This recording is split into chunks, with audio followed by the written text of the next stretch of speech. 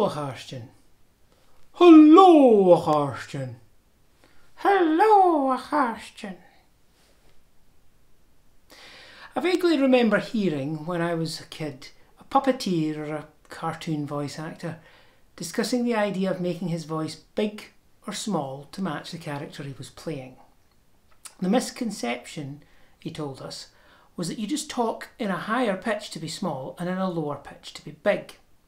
But instead, he said that what you should do is make your mouth small or big, and you can use the pitch as well to enhance that effect.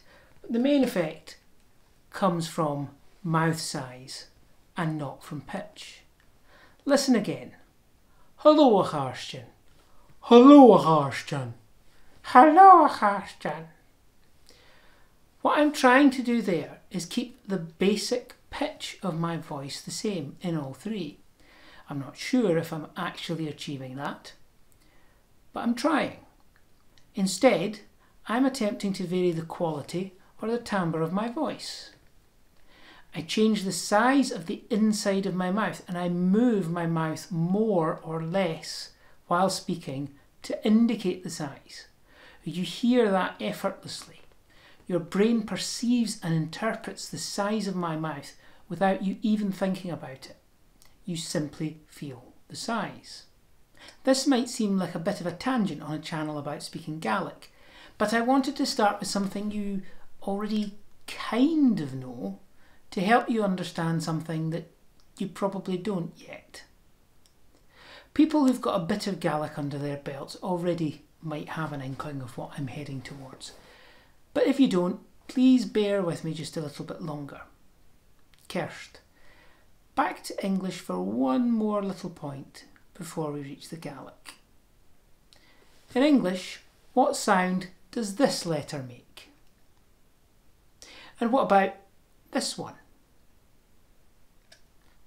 Well, while Caroline and Colin say k, and Gary and Gabby Gunn say g, Cynthia and Cedric say s, and George and Georgina say j. What's going on here? Well, i, e, and e are all made by having the tongue near the roof of the mouth, leaving a small gap, whereas a, o, o, a, and oo have the tongue much lower down, and this leaves a big gap for the sound to resonate in the mouth. Consider that teeny weeny feels very small and humongous feels really big. You may think that's just coincidence and the effect of association, but there's a school of linguistics that says it's not. And while not all words fall into this pattern, statistically it's far more likely to see these lower, bigger vowels in words meaning big and higher, smaller vowels in words meaning small. There are exceptions, of course, and English big and small are, in effect, the wrong way round. Of course, you know Gaelic's better.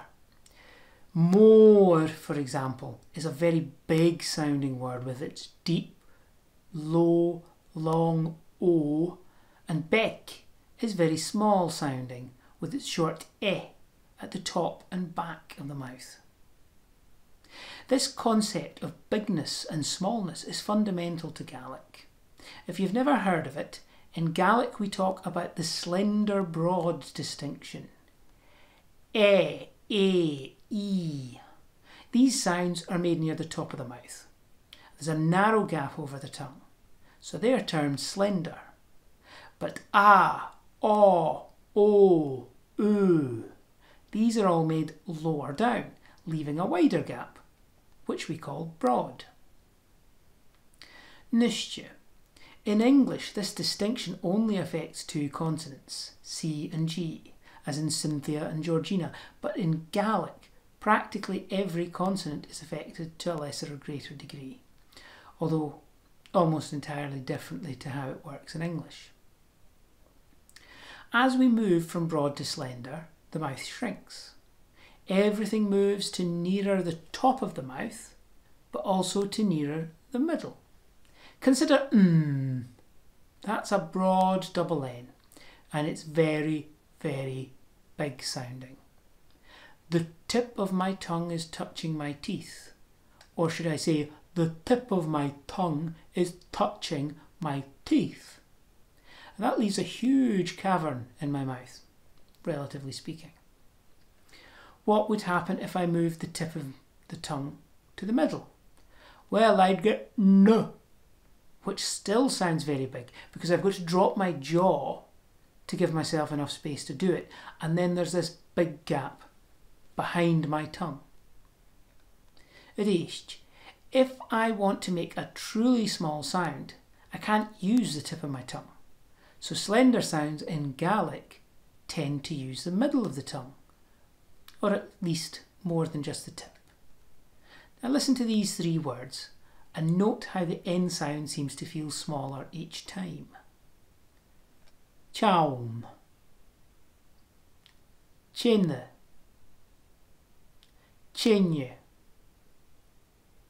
That's chaum or tight. Chinne, fire. And chinye, tighter. So chaum is very big. It's a strong, broad N. And the tip of your tongue is touching your front teeth. Chin, moderate size. This is a weak N and it's essentially the same in broad and slender position, as well as being very similar to an English N. Compare chin with tanna, thinner watery. And finally, we have chenye, very small sounding. This is a strong, slender N, and the tip of your tongue is dropped down out of the way, leaving the middle of your tongue to do all the work, pushing up to the middle of the top of your mouth. It's not ng, it's further forward than that. If you speak Spanish, it's effectively ñ of España. If you speak French, it's like the end of champagne. And if you speak Italian, it's like the start of gnocchi. Now, if you picture this progression from broad to slender via the weak form, you're seeing a line from lower and further forward to higher and further back. But if you start at the back with something like GH, it moves from lower and further back to higher and further forward. R, Y, R, Y.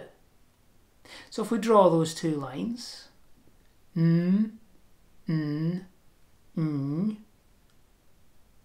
R, Y, we're left with a triangle. So you can picture pronunciation as being like a pyramid. The further you are from the top, the broader the area. The nearer the top, the narrower. In Gaelic, slender sounds are trying to move to the top of a pyramid inside your mouth, and broad ones are heading for the base. This, I hope, will help with some of the initially weirder sounding broad and slender pairs. You may have heard that broad T is like English T and a slender one like English ch. But compare the Gaelic for fire that we had earlier, chena, with the English chain.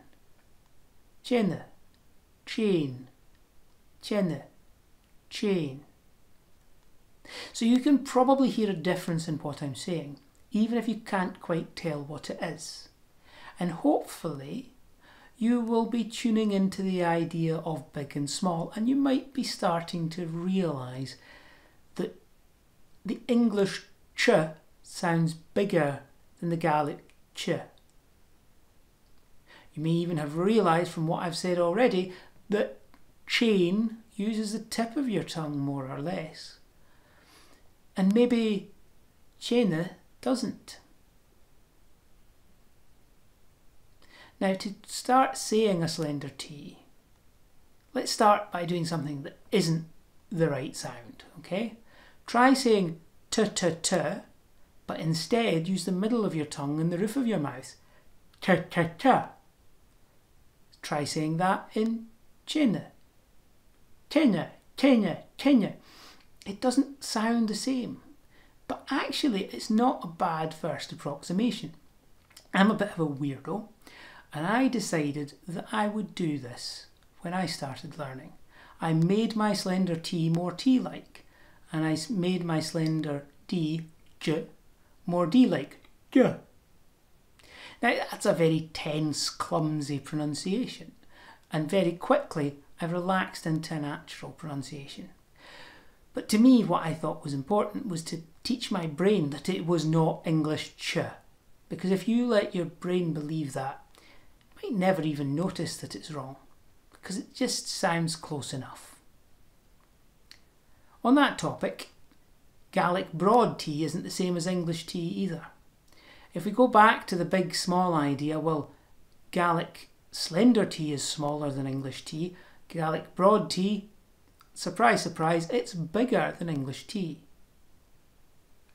Going back to the pyramid analogy, the slender tea is near the apex and the broad T is near the base, with English T somewhere in the middle. How are we going to make our T bigger and broader than in English? Touch the tip of your teeth with your tongue. If you try saying that in English, it feels clumsy. It almost feels like your tongue's swollen, like maybe after a trip to the dentist. But that's effectively what the Gaelic T does. Now consider S. Say s. Feel where your tongue is. S. The tip is most likely pointing more or less directly at that funny little ridge a centimetre or so behind your top teeth. Try instead bunching up the middle of your tongue from behind and try to say an S sound with the middle of your tongue behind that ridge. Shh. See, that's not exactly the same as a sh sound in English, but it's got some similarities. Sh, sh, Smaller, it's softer, it's squishier. Now compare the lowland name Shaw with the Gaelic for this. Shaw, Shaw, Shaw, Shaw, Shaw.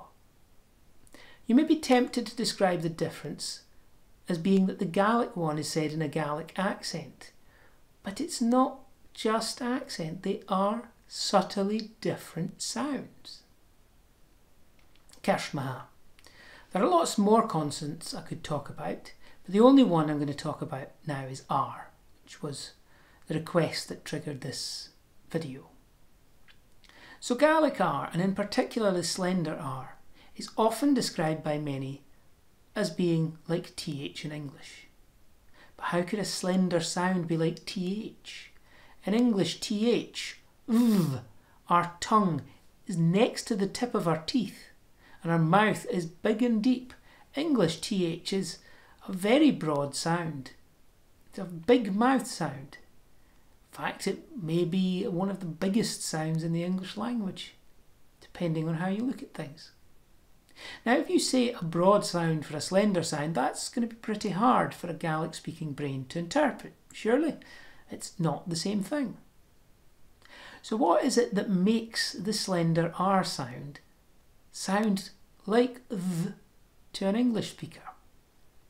Well, the main characteristic of th is that you have hissy air escaping around a stiff, unmoving tongue, which, if you think about it, is the same core characteristic as S. S. Now let's try a sound that isn't in Gaelic. Say S, then move the tip of your tongue forward towards the teeth. S. It should flatten out a bit as it goes. Just a little gap between your tongue and the roof of your mouth, between that funny ridge and your teeth. You'll start to get a whistling sound as you do it.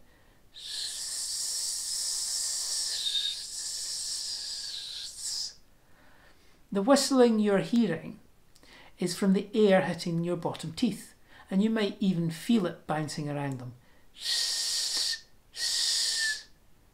A similar thing happens with a Gaelic slender R. is, is, is, is, is, is. Cahas. So the R and the S in English are in very similar positions, which is why it's easy to say them next to each other. Cars, readers, etc., if you pronounce your R's at all. But to get the Gaelic slender R, move your R forwards like you did with the S. You should be able to get the short R-like thump and the whistling hiss off the bottom teeth. Rzz, rzz. That whistle should continue maybe a little bit after the R sound has stopped. Rzz. Cahir. Cahirs. Kuyu. If you're interested in learning more on the topic of pronunciation, there's only one book worth mentioning, and that's Blas na Gàidhlig by Michael Bauer. It's very big and very thorough, describing sounds of the language. It's aimed squarely at beginners. It's full of charts and diagrams showing how to form the pronunciations. It avoids a lot of the jargon that linguists use in technical descriptions of pronunciation and I'll pop a link in the video description for anyone who wants to pick up a copy. Achanish, Shin video. That's enough for one video. Cheery and drasta. Cheery and drasta. Cheery and drasta.